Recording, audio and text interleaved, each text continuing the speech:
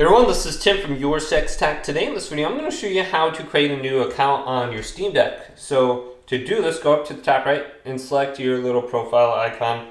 Should be right here. I'll bring you to your profile page. Scroll on down, go to account, go to change account. And then it says change account. This will shut down any active games so you can sign into a different account. If you wish to continue, go to confirm. Now it's going to take about 10 to 15 seconds it to uh, go to the login screen. And once we're there, we can switch to a different account or create a new account. So just wait for this to load and then we can go to the plus icon. Go to this, tap that. And here's the sign in page. So you can use the mobile app, scan the QR code, log in, whatever. It says sign in with account name, password, and then you have the option to create an account down here. So just tap that. And then you should be able to go through the process to create a new account. It says create account, sign in, and you can just go through here. So let's create an account. Or let's see, new to Steam, scan this code on your mobile device to create a free account. Or visit this little link. Let's go here. Actually, that doesn't do anything. So it looks like you have to do this from your phone. Otherwise, you will have to create an account in the, uh, the desktop mode. Just go to this website, uh, steam.com.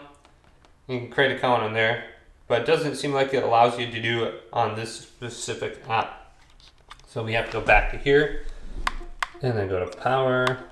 We go to switch to desktop, and then we should be able to open up like uh, one of the internet browsers. And for some reason, I have Google Chrome on here. So let's see, uh, I got Google Chrome on here. Just go to here, type in uh, Steam. So, well, it wants me to log in, so I'm just going to log in right here. And then we can just go to Google search and type in Steam. And then we can create a new account through here, just through the web browser, and then we can log in. Welcome to Steam. So it says login in the top right. And it's kind of nice that you have the option to go to the desktop. So log in.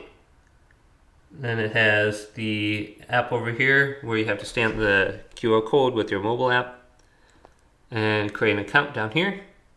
And boom, just go through that process right there. And you should be able to create your account. Then remember the credentials and go back to the login screen. Otherwise, you can just open up Steam through here and you can log in this way too. So you got your options. Hopefully this video did indeed help you out. Did and leave it a big thumbs up. And subscribe my channel down below for more checkout videos coming up next on Your Six Tech.